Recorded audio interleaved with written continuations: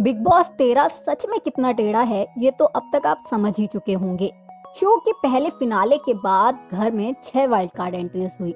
वहीं पिछले हफ़्ते ही घर में एक और वाइल्ड कार्ड एंट्री हुई, जो कि थी विशाल आदित्य सिंह की। विशाल आदित्य सिंह वैसे तो कई टीवी शोज़ में नज़र आ चुके हैं, जैसे कुल्फी कुमार बाजेवाला और शकुंतला।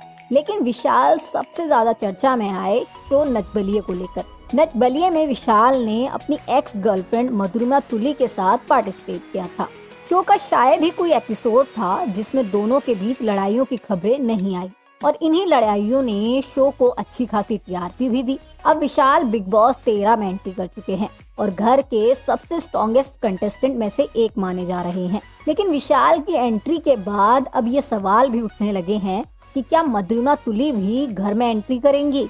मधुरिमा को बिग बॉस सीज़न सिक्स के लिए भी अप्रोच किया गया था। लेकिन उस समय मधुरिमा ने शो करने से मना कर दिया था।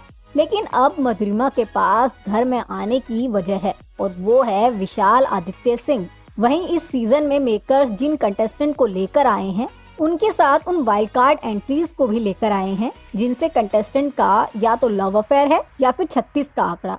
जैसे सिद्धार्थ शुक्ला और रश्मि देसाई, शहनाज गिल और हिमांशी खुराना और रश्मि देसाई और अरहान खान। ऐसे में अगर मधुरिमा घर में एंट्री करती हैं तो कोई हैरानी की बात नहीं होगी। लेकिन मधुरिमा घर में एंट्री करेंगी या नहीं, इस पर मेकर्स या मधुरिमा की तरफ़ से कोई ऑफिशियल स्टेटमेंट सामने नहीं आया है। जिस वजह से कहना मुश्किल है कि वो घर में एंट्री करेंगी या नहीं। वैसे आपको ये भी बता दें कि इस वीक घर में डबल इविक्शन देखने को मिल सकता है। और अगर ऐसा होता है तो अरहान खान खेसारी लाल यादव और माहिरा शर्मा में से कोई दो कंटेस्टेंट घर से बेघर हो सकते हैं, क्योंकि ये तीनों ही कंटेस्टेंट इस समय डेंजर जोन में चल रहे हैं।